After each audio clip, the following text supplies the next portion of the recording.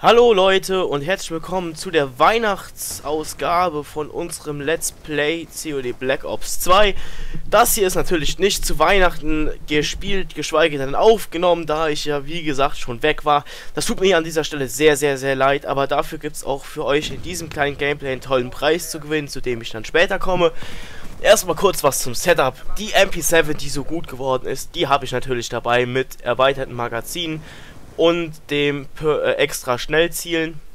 So, äh, als Secondary besitze ich die B23R, den Brezi-Luftschlag habe ich dabei, den Tarnhelikopter und den wunderschönen Loadster, die High, äh, wie heißt es denn, äh, Black, Black Hat, genau, die beiden Black Hats habe ich dabei. Und als Primärgranate habe ich, glaube ich, eine Sentex. Gespielt wird hier Sprengkommando auf der unglaublich geilen Map Nuketown 2025 oder 20, äh, ja doch 2025 und ähm, ja, gespielt habe ich das hier glaube ich mit dem Steven und dem Max Ach nee, Quatsch, was laber ich? Das war ganz alleine gespielt. Genau, ganz alleine bin ich hier wag wagemutig wie ein Held in das Spiel reingegangen und habe mich einfach gechillt. Hier an dieser Stelle muss ich sagen, ich campe nicht, sondern ich warte einfach, bis die Runde vorbei ist, da ihr gerade seht, dass die letzten Sekunden vorbeigehen, damit ich dann äh, meinen Tarnhelikopter reincallen kann. Und ja, da muss man einfach mal aussitzen, bevor man dann wieder stirbt, wie es so oft passiert vor einem Loadstar. Da riskiere ich lieber mal eher nichts. So, dann wollte ich erzählen, dass ich für euch ein Gewinnspiel vorbereitet habe. So, das heißt, ihr schreibt bitte wieder unter dieses Video einfach eure Kommentare drunter, was auch immer. Schreibt irgendwas Schönes drunter. Ihr könnt auch, was weiß ich, ihr könnt spammen, ihr könnt machen, was ihr wollt. Ja, es ist einfach euch überlassen, was ihr da tut, wie ihr es tut und was auch immer. Es wäre einfach lieb, wenn ihr einen Kommentar da lasst, beziehungsweise das ist gut für euch. Und zum Gewinnspiel, ihr könnt ein Gutschein für Z2 gewinnen. Und Z2, das sage ich euch, was das ist. Das ist Internet TV. Und zwar, ihr könnt über euer Smartphone, über euer iPhone, was auch immer, was ja ein Smartphone ist, wie ihr vielleicht wisst, über euren PC, überall Fernseh gucken. Und zwar jeden einzelnen Sender. Das ist sehr lohnenswert. Das, ähm, ja, kann ich euch nur so ans Herz legen. Wenn ihr das gewinnt, herzlichen Glückwunsch. Den Gutscheincode äh, schicke ich euch dann natürlich direkt nach der Verlosung zu. Und falls ihr gewonnen habt, erfahrt ihr das natürlich dann auch mit einer persönlichen Nachricht. So, ähm, zu den Kommentaren. Ihr könnt was Originelles posten, ihr könnt auch Scheiße posten, äh, wie ihr es auch immer wollt. Wäre nett, wenn ihr einen Like-Button da lassen würdet, das würde mich natürlich auch sehr freuen. Und ja, soweit äh, zu dem Gewinnspiel. Und äh, ja, sobald ihr alle das Video so ein paar Views hat, also so über 100 Views würde ich sagen, haue ich dann mal das Gewinnspiel, die Verlosung raus. Und ja, ihr seht das dann einfach in einem neuen COD-Video, da haue ich das dann nämlich einfach rein und verlose das Ganze mal. So eine Verlosungsscheiße mache ich übrigens nicht mehr mit dem, mit, der, mit dem Hut da, den ich gesponsert habe. Das, das tut mir leid, ich mache das natürlich mit einem Zufallsprogramm, wo ich dann wahrscheinlich einfach auswürfel, welche Seite und welcher Kommentar von oben runter gezählt indem ich einfach irgendwie einen Zahlengenerator nehme oder sowas. Aber es ist auf jeden Fall auf legalen Wege, weil was bringt es mir, es unlegal zu machen. Ja, so viel dazu. Ihr seht hier gerade bei dem Sprengkommando, ich habe meinen Loadstar jetzt gerade erhalten. Mein Perk-Setup ist übrigens äh, kugelsichere Weste und ähm, hier Dings, flinke Hände. Und das schöne Perk Taktikmaske, weil das braucht man unbedingt bei Sprengkommando. Das äh, muss einfach sein, weil so viele Nades auf Nuketown geschmissen werden, dass man einfach diese kugelsichere Weste braucht. Und es werden so viele Flashbangs geschmissen. Da braucht man auf jeden Fall das übertriebene Perk Taktikmaske. Denn Taktikmaske ist so übertrieben stark geworden, man merkt gar nichts mehr von Flashbangs. Finde ich zwar nicht so schlecht. Schade finde ich, dass sie das Pro-Perk rausgenommen haben. Das heißt, dass man die Perks nicht mehr hochspielen können. Das nervt mich ein wenig, aber sonst... Und hier, ihr seht, sie werden einfach gefickt. Sie haben überhaupt keine Chance da. Zack, zack, zack. Das Spiel hat so mega Bock gemacht, ja. Und die können einfach gar nichts gegen diesen wunderschönen Loadstar machen. Die kriegen aufs Gesicht so batz, batz, batz. Die können gar nichts. Und hier an dieser Stelle, da habe ich so gelacht. Guckt euch an, wie schlecht er ist. Pass auf. Zack. Und er kriegt halt noch, er kriegt halt noch. Und er schießt mich an und kriegt dann auch noch fast. Er hätte fast noch gekriegt. Ich schwör's euch, er hätte gekriegt, hätte mein Team nicht den letzten Schuss abgefeuert. Aber egal. Hauptsache nicht sterben ist hier die Devise. Und ich sehe gerade, ich habe gar äh, doch, ja genau, ich habe kein zweites Black Hat dabei, weil ich auf meiner Rafika erweitertes Magazin auch drauf habe. Und schnell schon wieder Afrika. BO23R. Deutsch. Deutsch. Und Entschuldigung, das muss jetzt gerade mal sein. Das ist keine Electronics-Abkupferung, sondern das ist einfach nur geil. Ich liebe das. Ähm, das sage ich auch immer online äh, hier äh, spielen. Und momentan ist Black Ops 2 wieder mal nicht genießbar. Ihr kennt die ganze Sache ja. Ich äh, sage die Rotze ja jedes Video so ziemlich, dass es mal genießbar ist, mal nicht und wie auch immer.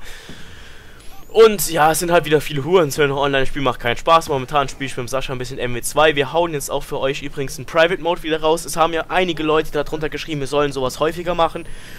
Und wir werden jetzt mal ähm, mit vier Leuten wahrscheinlich ein wenig Private Competitive spielen. Das heißt nicht unbedingt mit Challenges oder so, also doch mit Challenges. Das heißt, wir spielen Free for All. Jeder gegen jeden mit vier Leuten. Wir stellen vorher ein paar Waffen ein. Das heißt, wir holen uns ein paar Setup. Bei MW3 natürlich. Bei Black Ops 2 finde ich das nicht akzeptabel. Und äh, da der liebe Sascha sich ja auch verweigert hat, dieses Spiel zu kaufen. Das kann ich natürlich auch irgendwo verstehen. Irgendwo will ja auch nicht. Wohl äh, das wieder auch nicht äh, langsam überwiegt. Und ja, da werden wir euch einfach mal ein paar Videos wieder raushauen, die natürlich live kommentiert werden, sonst macht es ja gar keinen Spaß. Mit dem lieben Tim, dem Sascha und dem, ähm, äh, wie hieß er jetzt? Ich habe den Namen vergessen, keine Ahnung. Äh, den haben wir jetzt heute auch kennengelernt. Das war auch echt geil. Der korrekte Typ auf jeden Fall. Kommt aus äh, Cuxhaven. Grüße an dich hier in diesem Video. Echt äh, korrekter Typ. Den nehmen wir auf jeden Fall mit in das Private Match. Musste gerade nur kurz bei Skype gucken. Vielleicht stand da sein Name, aber stand da nicht. Ich will jetzt auch nicht seinen echten Namen sagen. Das wäre vielleicht und seine Einstimmung nicht so tolle. So, ihr seht, ich bin hier gerade schön am Spawn killen ganze Zeit Ratzatzatz drauf. Ich bin in, meinen Spawn, in den Spawn reingelaufen, Gegner-Spawn. Das äh, kann man euch nicht empfehlen. Das kann man nur machen, wenn die Teammates so kompetent sind und in der Mitte bleiben und die Spawn killen links und rechts. Dann spawnen sie nämlich vor einem. Das hatte ich hier, deswegen bin ich auch hinten reingelaufen. Ansonsten kann man das echt nicht machen, sonst flippt man den Spawn und alle regen sich über einen auf, wenn man so ein Kackgesicht ist, das das macht. Und ich reg mich auch jedes Mal drüber auf, dass der Spawn geflippt wird. Das ist einfach nervig, wenn da einer reinrennt und denkt, oh, guck mal, ich bin ein kleines, süßes Kind. Hm, ich habe rote Haare, rot, oh, rote Flagge, rote Haare, rotes Dach, rote Keller und ich will da mal den Spawn flippen. Ja, das ist natürlich geil, da freue ich mich jedes Mal wieder aufs Neue drüber. Und ich habe jetzt übrigens meine HDPVR verkauft oder bin dran, die zu verkaufen und werde mir jetzt wahrscheinlich eine Penisverlängerung zulegen dafür. Da eine Penisverlängerung sich natürlich stört. Elgato hieß das Ding, genau. Ich war nämlich gerade am gucken, wie das Ding ist. Ich hab's vergessen. Eine Elgato Capture Card werde ich mir holen. Und ja, das ist natürlich dann natürlich auch wieder schwer, geil. Und das wird wahrscheinlich auch gut aussehen, hoffe ich natürlich. Und ähm, ja, zum Gameplay wieder, um zum Gameplay wieder zurückzukehren, um ehrlich zu sein. Hier die Stelle, wo ich jetzt hier gerade sitze, ist so ziemlich eine sehr gute Stelle oder zum, ich will jetzt nicht sagen die beste Stelle, aber auf jeden Fall eine der besseren Stellen, um die Leute wegzuspawnen killen. Sie laufen einem nämlich immer daher über die linke Flanke. Wenn nicht äh, gerade die Teammates auf der rechten Flanke fehlen, dann wird man natürlich sofort gefickt. Und man braucht unbedingt einen Sniper, der die anderen Leute in dem Fenster oben wegholt, weil das ist die gefährlichste Position für euch, wenn ihr auf Killstreak seid. Und äh, das war meine Schuld hier an dieser Stelle. Das war einfach nur dumm von mir, dass ich gedacht habe, die spawnen ist gerade nicht hinter mir und ja, wurde ich halt in den Rücken geschossen für so einen kleinen Drecksnoob. Und ihr braucht auf jeden Fall einen, der oben im Fenster alle Leute wegholt, weil wenn die einmal oben im Fenster sind, ihr könnt kaum was dagegen machen, wenn da zwei Leute stehen oder so, die knallen euch sofort von der Posi weg. Das ist echt so schlimm. Und guckt euch das an. Wie minderwertig muss man sein, um in diesem Haus auf dem Boden zu liegen? Ach du Scheiße. Und wir haben heute übrigens auch in ML2 so ein paar Trickshotter kennengelernt. Hm, die waren sehr geil. Die haben mit sechs Leuten vor dem Gegner gestanden und haben es nicht geschafft, ihn zu töten. Ey, das war so lustig, ey. Das war so mega lustig, ey. Ich habe mir so einen abgelacht mit Sascha zusammen. Das waren so Deutsche, und die haben so gedacht, ey, 360, ey, ich mache ich kaputt und so, ey, ich bin Kenneck und hab voll eine geile Sprache und so, ne? So voll Deutsch und so, ey, das voll krass und Deutsch schreiben auch ganz gut, ne? Und ey, die waren so kacke, die waren so schlecht. Und dann meinten die so, ja, bla bla, guck doch mal, wie scheiße du bist. Dann haben Sascha und ich einfach mal Noobtube rausgepackt bei MW2, weißt du, wie man das so macht. Und haben die die ganze Zeit Noobtube auf die Fresse geballert bei Search Destroy, ne. Am Ende haben sie alle gerage quittet, hatten sie keinen Bock mehr, ne. Und jedes Mal, wenn wir die gekillt haben, haben die so rumgeschrien, äh, Hurensohn und so, ne, voll retarded und alles. Und äh, ich habe auch am Anfang zu ihnen gesagt, ihr seid sicher so welche, die so voll retard rumbrüllen und so bei dem Game so voll ernst nehmen, obwohl das schon so irre alt ist, ne? Also das haben die auch noch gemacht, das haben die auch echt noch gemacht. Die haben ganze Zeit rumgebrüllt und so, ey, voll die Pisser. Und am Ende halt Rage quitten, ne? So wie es halt ist, ne? So, hier fängt jetzt gerade wieder eine Runde an, eine neue Runde. Ihr seht hier dieser Danny über mir, der geht auch richtig schön ab, ey. Der war auch echt eine große Hilfe. Der war ausnahmsweise mal eine Hilfe in meinem Team. Sonst habe ich ja wieder nur so Kackgesichter, die 0 zu 32 gehen oder so. Und ja, das ist einfach geil, Leute. Das ist geil. So Games, wenn ich die öfters hätte mit Double XP und so, was sie auch übrigens nochmal rausbringen können. Ein bisschen Double XP wäre schon geil. Ähm, ja, so Games öfter und ich spiele das Spiel nur noch. Ich schwör's euch, dann macht das Spiel auch wieder richtig Bock. Und ja, ich werde euch auf jeden Fall dann noch ein paar MW3 Free-for-Alls bringen oder so. Ich habe ja dann auch ein Aufnahmegerät, nicht nur der Sascha für die minderwertigen FIFA-Videos. Nein, die FIFA-Videos von dem haben sich ja echt gebessert. Also man muss echt sagen, die Kommentare von ihm sind deutlich besser geworden. Es hat sich echt zum Besseren gewendet. Und ähm, früher war es echt... Was willst du? Ja, das sind immer die Leute, die stören müssen mitten im Video. Das ist natürlich scheiße, aber ich war stehen geblieben, dass Saschas Kommentare echt besser geworden sind. Im Gegensatz zu vorher hat sich der Sascha echt gemacht und ich hoffe, ich habe mich auch ein wenig gemacht. Wir mussten uns am Anfang in YouTube natürlich erstmal reinfinden und so, das ist ja verständlich. Und das muss man dann an der Stelle auch echt bemerken. So, ich hoffe, ihr denkt an das Gewinnspiel. Ähm, postet was in die Kommentare rein. Vielleicht postet ihr auch noch direkt, wie ihr das Gameplay hier findet. Das war nämlich echt geil. Hat mir auch echt mega Spaß gemacht. Ähm, ihr könnt auch natürlich was zu dem Freefall posten, was wir da machen sollen. Waffensetup könnt ihr uns natürlich auch schicken.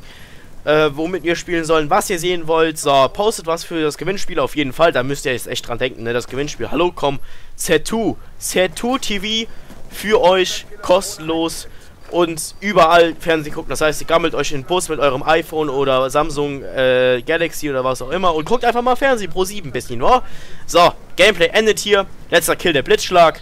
Wunderschön, 2 zu 1 gewonnen. Ich habe 88, 88, 88 zu ähm, 13, glaube ich. Könnte auch 14 sein wahrscheinlich, aber das ist doch ganz akzeptabel. 88 zu 14 ist es, genau. Haut rein, bis zum nächsten Mal. Denkt ans Gewinnspiel. Macht's gut. Peace.